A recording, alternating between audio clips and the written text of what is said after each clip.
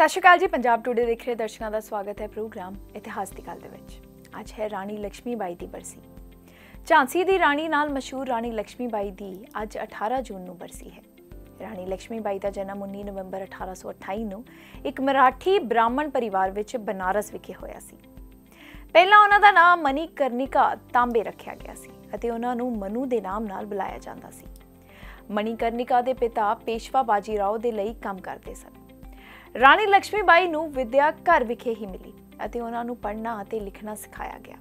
ਉਹਨਾਂ ਨੂੰ ਪੜ੍ਹਾਈ ਤੋਂ ਇਲਾਵਾ ਸ਼ੂਟਿੰਗ, ਘੋੜ ਸਵਾਰੀ ਅਤੇ ਫੈਂਸਿੰਗ ਦੀ ਸਿੱਖਿਆ ਵੀ ਦਿੱਤੀ ਗਈ ਸੀ।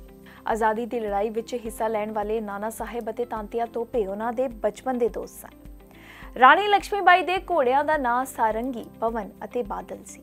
ਇਹ ਕਿਹਾ ਜਾਂਦਾ ਹੈ ਕਿ ਰਾਣੀ ਲక్ష్ਮੀਬਾਈ ਨੇ 1858 ਵਿੱਚ ਕਿਲਾ ਛੱਡ ਕੇ ਭੱਜਣ ਵੇਲੇ ਬਾਦਲ ਘੋੜੇ ਦੀ ਵਰਤੋਂ ਕੀਤੀ ਸੀ। 1882 ਵਿੱਚ ਮਨੀਕਰਨਿਕਾ ਦਾ ਵਿਆਹ ਝਾਂਸੀ ਦੇ ਮਹਾਰਾਜਾ ਗੰਗਾਧਰ ਰਾਓ ਨਾਲ ਹੋ ਗਿਆ ਅਤੇ ਉਸ ਤੋਂ ਬਾਅਦ ਉਹਨਾਂ ਨੂੰ ਲక్ష్ਮੀ ਬਾਈ ਦੇ ਨਾਮ ਨਾਲ ਜਾਣਿਆ ਜਾਣ ਲੱਗਿਆ 1891 ਵਿੱਚ ਉਹਨਾਂ ਦੇ ਘਰ ਇੱਕ ਪੁੱਤਰ ਪੈਦਾ ਹੋਇਆ, ਪਰ 4 ਮਹੀਨੇ ਬਾਅਦ ਹੀ ਉਸ ਦੀ ਮੌਤ ਹੋ ਗਈ। ਇਸ ਤੋਂ ਬਾਅਦ ਗੰਗਾਧਰ ਰਾਓ ਨੇ ਆਪਣੇ ਚਚੇਰੇ ਭਰਾ ਦੇ ਸੁਪੁੱਤਰ ਆਨੰਦ ਰਾਓ ਨੂੰ ਗੋਦ ਲੈ ਲਿਆ।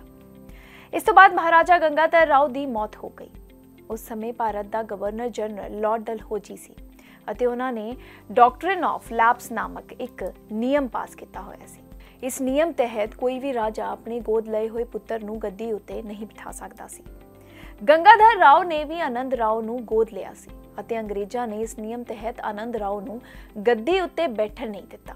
ਜਦੋਂ ਰਾਣੀ ਝਾਂਸੀ ਨੂੰ ਇਸ ਗੱਲ ਦਾ ਪਤਾ ਲੱਗਿਆ ਤਾਂ ਰਾਣੀ ਝਾਂਸੀ ਨੇ ਇਸ ਗੱਲ ਦਾ ਵਿਰੋਧ ਕੀਤਾ। 1854 ਵਿੱਚ ਰਾਣੀ ਝਾਂਸੀ ਨੂੰ ਸਾਲ ਦੀ ਪੈਨਸ਼ਨ ਤੇ ਲਗਾ ਦਿੱਤਾ। ਅਤੇ ਕਿਲਾ ਤੇ ਜਗ੍ਹਾ ਖਾਲੀ ਕਰਨ ਲਈ ਹੁਕਮ ਦਿੱਤਾ। ਅੰਗਰੇਜ਼ਾਂ ਨੇ ਝਾਂਸੀ ਦੇ ਉੱਤੇ ਕਬਜ਼ਾ ਕਰਨਾ ਸ਼ੁਰੂ ਕਰ ਦਿੱਤਾ ਸੀ। ਰਾਣੀ ਝਾਂਸੀ ਦੇ ਕਿਲਾ ਛੱਡਣ ਤੋਂ ਬਾਅਦ ਉਹਨਾਂ ਨੇ ਅੰਗਰੇਜ਼ਾਂ ਤੋਂ ਬਦਲਾ ਲੈਣ ਦੀ ਠਾਣ ਲਈ ਸੀ ਅਤੇ ਉਹ ਘੋੜਸਵਾਰੀ ਦੇ ਨਾਲ ਕੁਸ਼ਤੀ ਕਰਨ ਲੱਗ ਪਈ ਤਾਂ ਜੋ ਉਹਨਾਂ ਨੂੰ ਜੰਗ ਦੇ ਗੁਣ ਆ ਜਾਣ। 10 ਮਈ 1857 ਨੂੰ ਅੰਗਰੇਜ਼ੀ ਹਕੂਮਤ ਖਿਲਾਫ ਵਿਦਰੋਹ ਸ਼ੁਰੂ ਹੋ ਗਿਆ ਸੀ।